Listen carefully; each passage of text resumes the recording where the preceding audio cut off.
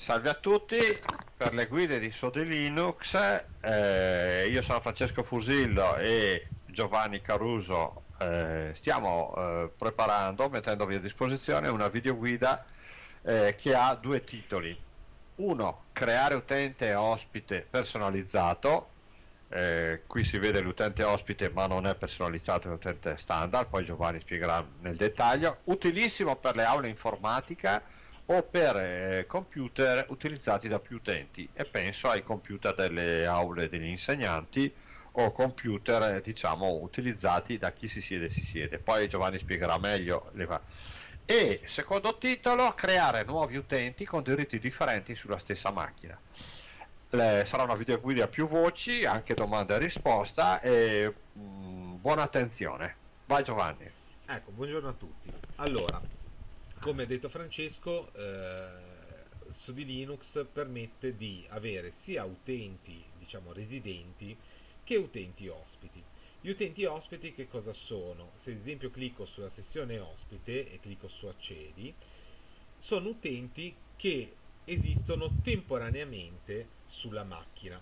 L'utente ospite è un utente che viene creato e distrutto ogni qualvolta chiunque eh, ne fa accesso e quindi ad esempio questa home di questo utente i file che costruisco che salvo al suo interno vengono eh, creati ci dà la possibilità all'utente di creare dei file di lavorare eh, con eh, col sistema senza essere dotati di una password e di una username ma alla fine del, del, lavoro, nel momento in cui si fa il logout, i dati vengono distrutti. Questo due, serve per due motivi. Uno è un motivo eh, pratico, dare accesso senza dover gestire eh, molti utenti eh, laddove magari si ha bisogno di un accesso temporaneo, ad esempio per consultare internet. Dall'altro, eh, il, non ho come amministratore non ho bisogno di andare a fare poi pulizia delle macchine per togliere eventualmente file che mh, mm, qualche ospite può aver eh, lasciato sulla macchina. Ad esempio, mettiamo, facciamo finta che l'ospite abbia creato un file con LibreOffice e l'abbia lasciato qua sulla scrivania, eh, che cosa succede? Se l'utente fa termina la sessione, termina, come vedete il computer si riporta al suo stato iniziale, se clicco su accedi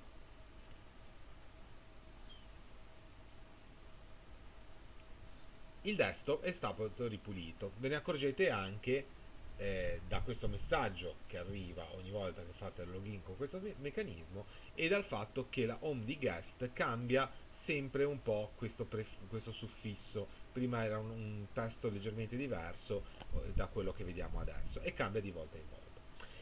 Cosa succede quindi? Che eh, questa è una modalità molto comoda perché eh, ci semplifica un po' la vita. Come facciamo però a customizzare la sessione ospite? Perché la sessione ospite appare sempre come l'abbiamo vista, quindi con questo desktop, con il desktop canonico di Sodi Linux e le applicazioni al suo interno. Ma se volessimo ad esempio mettere, fare in modo che sulla scrivania appaiano delle cartelle oppure delle icone qua nel menu come, come possiamo fare eh, l'unico modo eh, con cui possiamo customizzare quindi far realizzare un utente ospite su misura per le nostre esigenze è quello di eh, creare noi un utente che verrà usato come copia hm, dell'utente ospite ovvero un utente ospite persistente che però verrà usato nella sessione ospite per eh, usare le impostazioni al suo interno. L'obiettivo qual è? Avere un utente che io possa configurare come voglio, secondo le esigenze della scuola, della classe, del laboratorio e al contempo eh, avere eh, la possibilità che quando l'utente eh, ospite vero clicca su sessione ospite trovi quelle cartelle che io ho impostato eh, come si fa? Allora, io intanto accedo, devo accedere con l'utente amministratore. Come sempre nei nostri video, l'utente amministratore è scuola. Una volta che ho fatto l'accesso, vado sul menu di sto di Linux, sistema, amministrazione, utenti e gruppi. Clic. E aggiungo un utente. L'utente che andò a, ad aggiungere, ad esempio, lo chiamo eh, ospite. Eh, devo qua devo mettere la password. Prima devo mettere la password, che è la password dell'amministratore.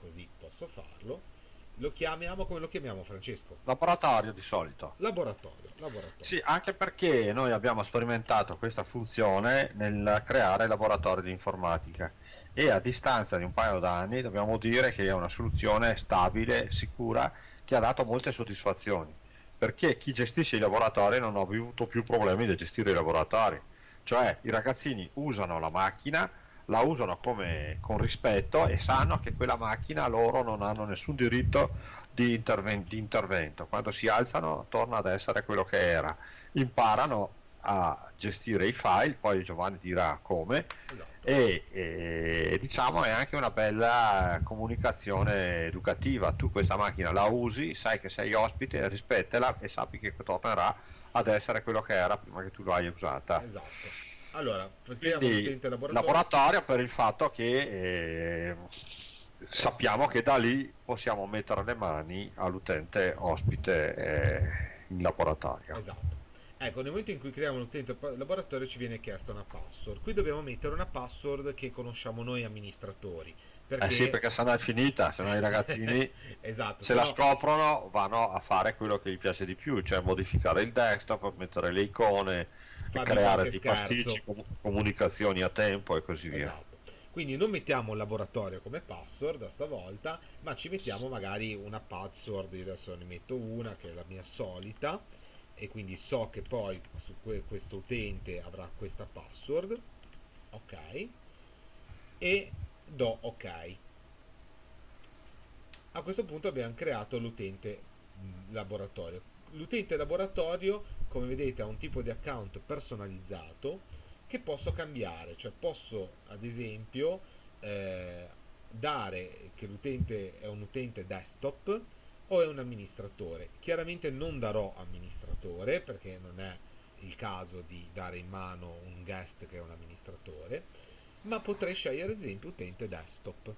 Eh, se faccio ok, eh, l'utente desktop è un utente che ha meno privilegi di un amministratore. E quindi Ed ecco, scusa Giovanni, sì. troppo il secondo tema della video lezione, creare utenti con diritti diversi della macchina.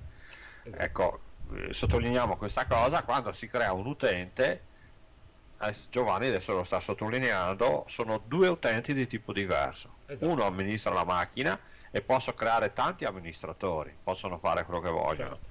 Questo tipo di utenti qua, come laboratorio, adesso Giovanni lo spiega, esatto. non lo possono è, fare. Non lo possono fare. È importante rispetto alle versioni di Windows più antiche che richiedevano che tutti gli utenti fossero amministratori per poter effettuare certe operazioni. Sotto Linux eh, ciò non è vero. L'utente amministratore deve essere uno o comunque limitato a chi effettivamente amministra le macchine. Per tutti gli altri utenti basta l'utente desktop. Eh, ecco Giovanni, andare... ma cosa fa l'amministratore che non può fare il desktop? Ad esempio, l'amministratore che cosa fa? Può installare le applicazioni, cosa che l'utente desktop non deve fare e questo ci garantisce che i ragazzini non possano, gli studenti non possano mettere le mani nelle configurazioni di sistema. Può, l'utente amministratore può creare dei nuovi utenti e dei nuovi gruppi di utenti. È chiaro che questa è un'operazione molto delicata e quindi eh, non, in, non deve essere in mano agli altri utenti. Può ad esempio riconfigurare la rete e quindi tutti i parametri che servono per la connettività cosa che non deve essere, eh, non deve andare in mano a uno studente, così come ad esempio disattivare o attivare la connessione di rete. Eh, sono tutte operazioni che se io le tolgo dalla possibilità di farle all'utente desktop, mi garantisco di non dover, eh, di non dover poi intervenire a magari risolvere delle, delle problematiche che sono state causate per Ehm, per scherzo o semplicemente per non essere stati accorti o non essere consapevoli da parte dell'utente eh, di quelli che sono eh, le impostazioni della macchina. Vediamo cosa fa l'utente desktop e poi continuiamo. Se vado nei permessi eh, posso andare su impostazioni avanzate, vedete il laboratorio è un utente desktop, la password mi viene chiesta l'accesso e clicco su impostazioni avanzate. Se vado su privilegi dell'utente, ecco che qua che posso andare a vedere quelli che sono i privilegi dell'utente desktop, quelli predefiniti per l'utente desktop e modificare questi privilegi togliendo o mettendo delle spunte. Ad esempio, accedere automaticamente a dispositivi di memoria esterni. Questo è importante che ci sia perché l'utente deve potersi collegare e scollegare la chiavetta USB, la pennina, come si dice in gergo, per, eh, per aprire e chiudere file. Configurare le stampanti, che non significa usare le stampanti, ma configurarle dal punto di vista dell'amministratore. L'utente desktop non deve andare a modificare, ad esempio, le impostazioni della stampa della stampante di rete o della stampante collegata al computer. E quindi questo lo lascio così. Connettere a internet usando un modem, eh, questo fa un po' sorridere al giorno d'oggi, però eh, in questo caso eh, è più o meno importante, non, non, non ci interessa perché probabilmente non useremo modem. Connettere alle reti via cavo, eh, alle reti via cavo e senza fili, ovvero andare ad abilitare o disabilitare la connessione di rete che sia essa col cavo fisico o il wifi. In entrambi i casi questo non deve essere dato all'utente desktop perché? Perché non deve eh, disattivarsi la rete per sbaglio. Inviare e ricevere fax se si, è, se si ha un modem fax, monitorare i registri di sistema, questo può essere più o meno utile, eh, quindi si può anche lasciare share files with the local network, ovvero condividere file con la rete locale se si usa ad esempio la connessione, le, le cartelle condivise, ma anche in questo caso se l'amministratore ha già predisposto tutto, l'utente desktop non deve metterci le mani. Usare gli scanner, questo potrebbe aver senso flaggarlo se eh, alla macchina fosse collegato uno, uno scanner così come anche usare i dispositivi audio nel senso di riconfigurare i dispositivi audio idem dispositivi video, usare i modem, usare l'unità nastro che oggettivamente probabilmente non dovrete usare, usare i CD-ROM e se esistono ancora usare l'unità floppy. La Questo... domanda Giovanni, se io sono in un eh, in una supponiamo in un'aula informatica e ho eh, 50 utenti desktop, li posso creare? Cioè, qual, qual, è il limite di utenti che posso creare in una macchina? Non ci sono limiti, l'unico limite è legato allo spazio eh, che posso allocare ai, ai singoli computer. Quindi ne posso creare quanti voglio? Quanti voglio, non ci sono limiti dal punto di vista num- numerici forse 10.000, ecco, forse un limite di 10.000, ma Vabbè, credo che ci tocchi. Non è il nostro caso. Bene, allora andiamo avanti con la creazione dell'utente ospite personalizzato. Ok, a questo punto va bene, mi richiede la password perché ho modificato i privilegi, lo modifico, autentica, trickete, ed ecco che il mio utente laboratorio. Questo ricordiamo, l'utente laboratorio è un utente che serve esclusivamente a... Eh, come si dice, come dicono in gergo gli informatici, è un template, cioè è una copia, un utente che deve essere usato per ricreare l'utente ospite. Ok? Quindi questo deve essere importante. Uh, ok. A questo punto, prima di passare, i, andiamo al passo successivo che prevede di digitare alcuni comandi da riga di comando. Quindi devo andare negli strumenti di sistema, terminale, aprire il terminale e dare questo, questo comando sudo spazio sudo è il, il comando che permette all'utente amministratore di fare delle operazioni di amministratore altrimenti anche lui si comporta come un utente normale. Apt meno get tutto attaccato spazio install spazio slick scritto slick trattino grit quindi GRETER spazio L light come luce DM light spazio light DM light DM settings possiamo aiutare. Apri la finestra così. Sì, così lo aumentiamo un po' più in grande, lo aumentiamo anche un po' più in grande. Eh. Aumenta ingrandimento. Ecco, così chi vuole può farsi uno screenshot. Eccoli, così bello grande. At get installed di apt, mi raccomando, spazio, dopo get spazio e ogni volta che c'è una parola diversa, spazio, perché sono eh, eh, programmi differenti. E poi l'ultimo, app armor. Ok, dato questo, mi viene richiesta la solita password dell'amministratore, la metto, anche se non appare è stata inserita, e do invio. A questo punto, eh, se è stato aggiornato la versione di Linux, probabilmente non è necessario fare altro e a questo punto eh, non c'è bisogno di eh, dare altre, eh, altre cose. Ok.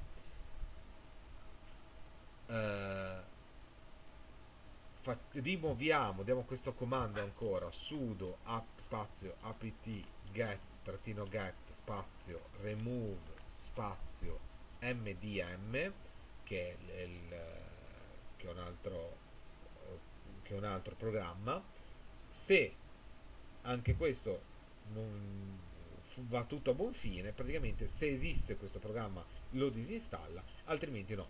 Cosa stiamo facendo giusto per spiegarci? Stiamo installando una cosa che fortunatamente dopo gli aggiornamenti su Linux si installa già che è il gestore grafico della login. Eh, ne, sotto Linux ne esistono vari.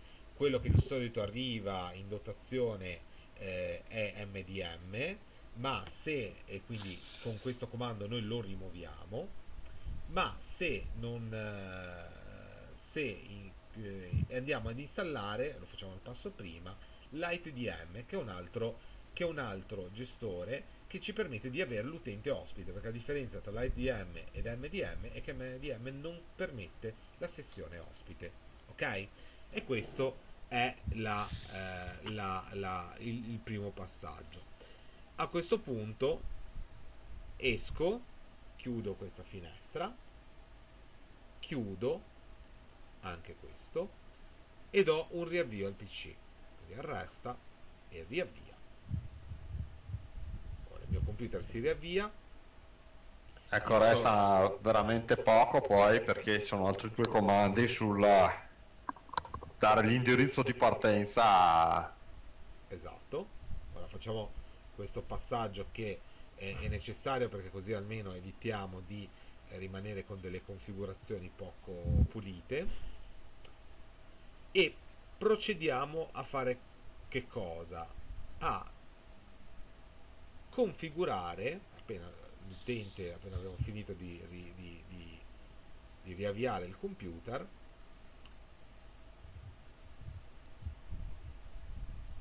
con calma, di ecco, nel configurare l'utente, può... sì, sì, scusami, l'utente, l'utente eh, laboratorio.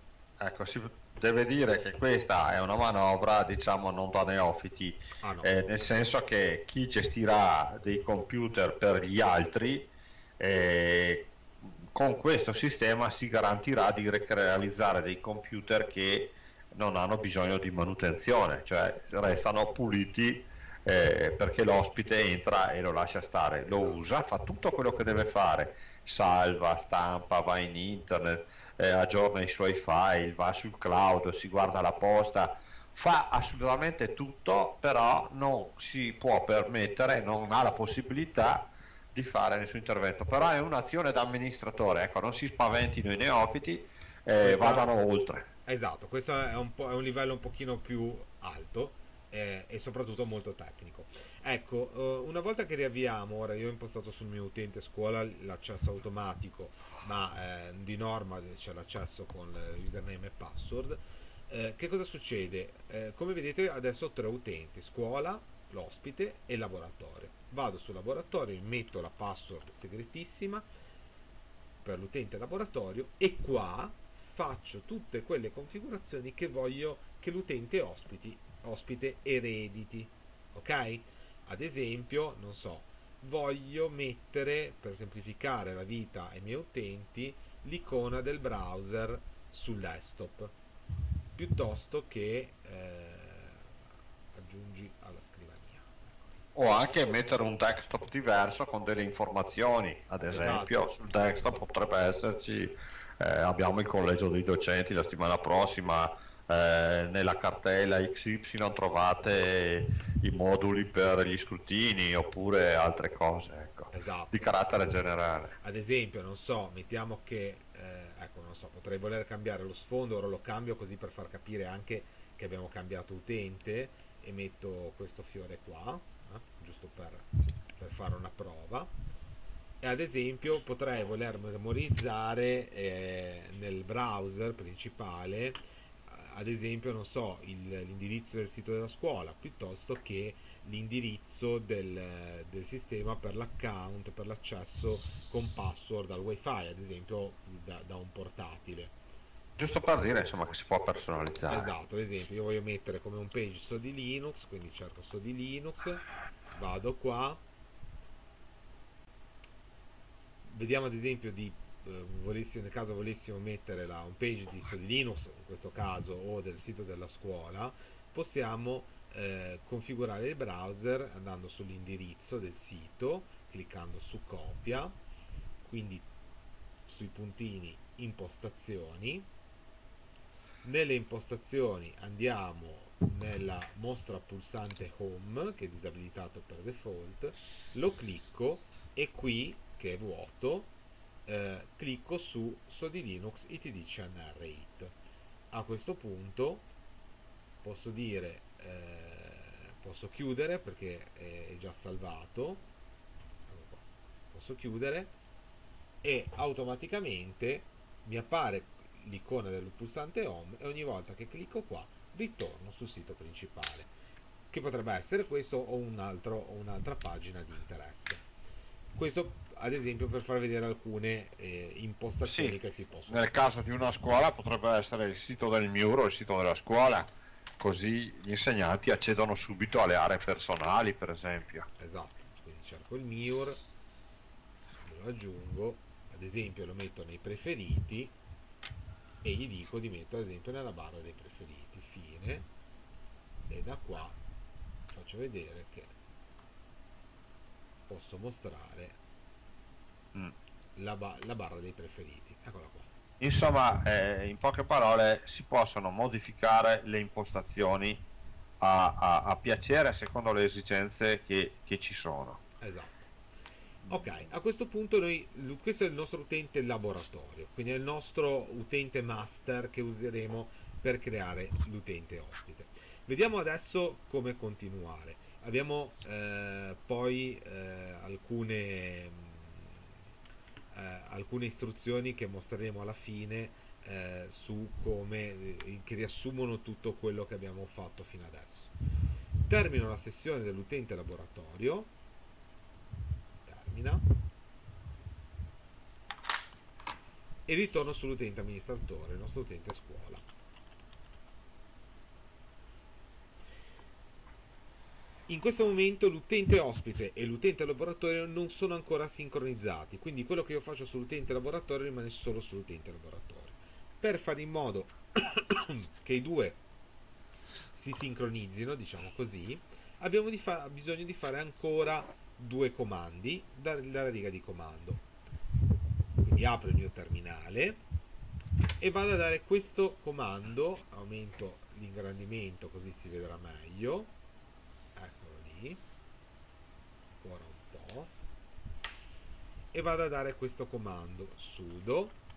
Spazio mkdir spazio slash etc. Slash guest session.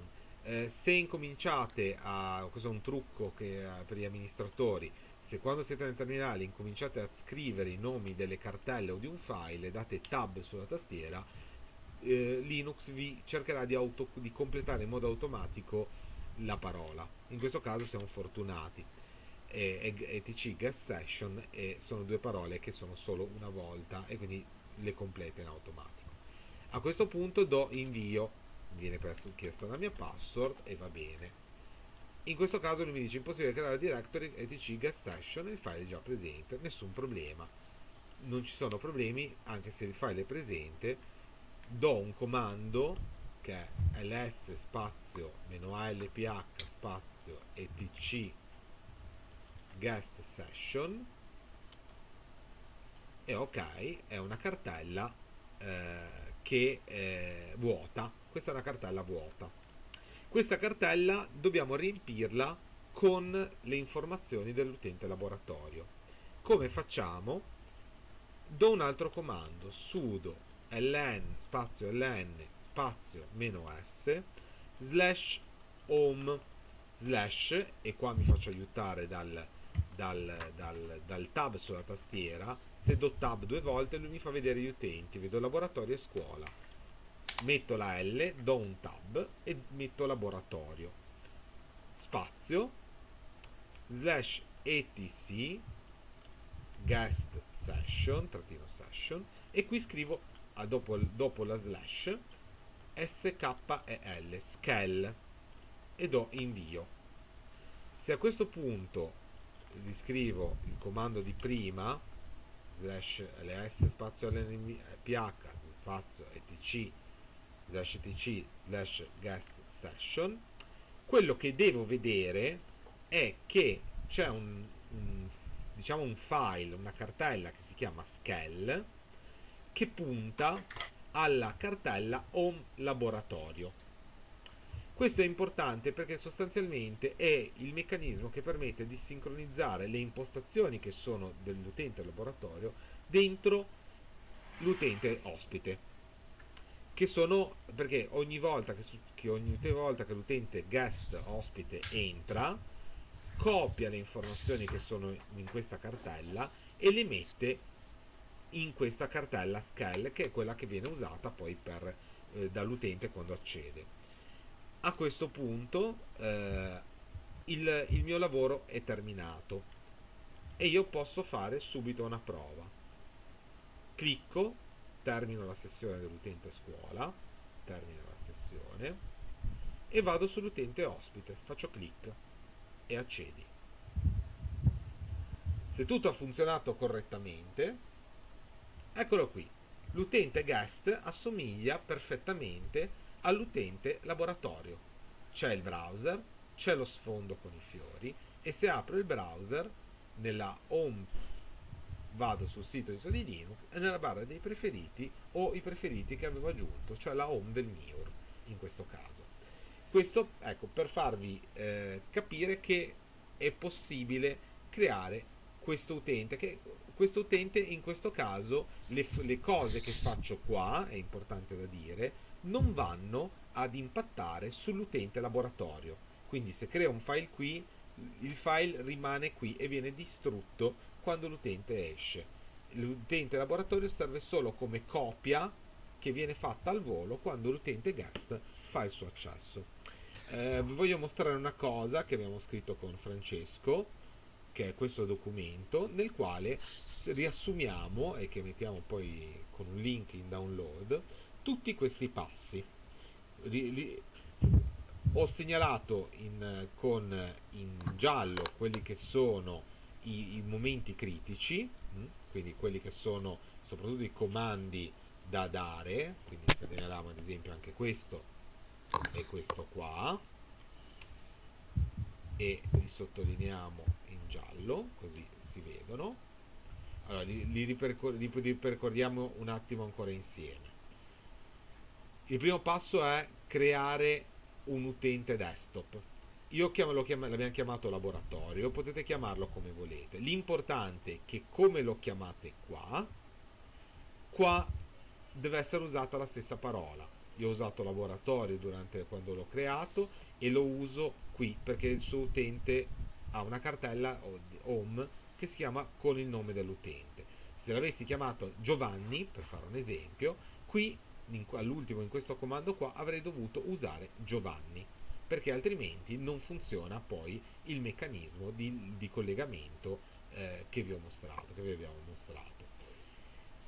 Facciamo il primo passo, creiamo l'utente con il nome in tutto in minuscolo così non ci sbagliamo Con il secondo passo ritorniamo sull'utente amministratore e cliccando nel terminale, dalla, da strumenti terminale, do questo comando, do questi comandi.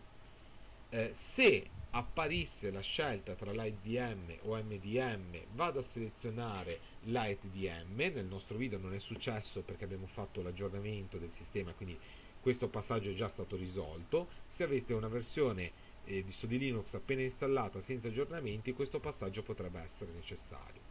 E confermo tutto premendo il tasto invio.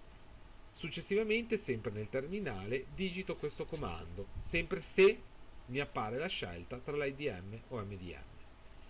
Riavvio il computer come terzo passo. Come quarto passo, ma anche come sesto passo, perché questo passo è il quarto, è l'unico che si può eh, che si può ripetere tante volte quante si vuole, personalizzo l'utente laboratorio, ma posso anche farlo diventare un sesto passo, non è necessario farlo subito. Come quinto passo accedo nuovamente come amministratore, quindi ho riavviato il computer, se ho voluto ho già personalizzato l'utente laboratorio, se no lo farò dopo. Come quinto passo accedo nuovamente come amministratore di sistema e digito nel terminale questi due comandi. Make sudo make dir etc get session. Sudo lns ln spazio meno s slash home slash laboratorio etc get session scale. Soprattutto questo è molto importante perché permette di creare il link che, eh, che è necessario. Il primo comando abbiamo visto che non è propriamente necessario ma diamolo comunque per sicurezza tanto non costa nulla il secondo invece è quello veramente importante. Finito questo abbiamo terminato la procedura e ora l'utente ospite eh, può accedere trovando le modifiche che faremo all'utente laboratorio e quindi i due da adesso in poi sono sincronizzati. Mm, Francesco, dimenticato qualcosa? No, direi che chi vuole fare delle prove è meglio che lo faccia su delle macchine di prova non succede niente e casomai l'utente ospite non funziona come, abbiamo, come è successo a me le prime volte. A Giovanni riescono sempre, a me succede che riescono una volta ogni due. Diciamo che, Però che ecco, facendo due o tre prove uno prende la mano e si riesce, si organizza la macchina come vuole e la mette a disposizione dei colleghi o dei ragazzini secondo le indicazioni che ha. Eh, cioè, ecco, noi abbiamo pensato a questa soluzione veramente per semplificare la vita di chi gestisce le aule informatica e i PC pubblici, diciamo. È servito per una biblioteca, è servito per varie aule informatica, quindi aiuta molto. È una guida un po' lunga, però diciamo è una guida d'amministrazione. Chi si mette in questo territorio perché vuole imparare a gestire e ad amministrare non solo la propria macchina, ma anche le macchine degli altri. Quindi io direi buona sperimentazione eh, per le guide di Sodi Linux eh, Giovanni Caruso e Francesco Fusillo vi salutano. Ciao a tutti buona sperimentazione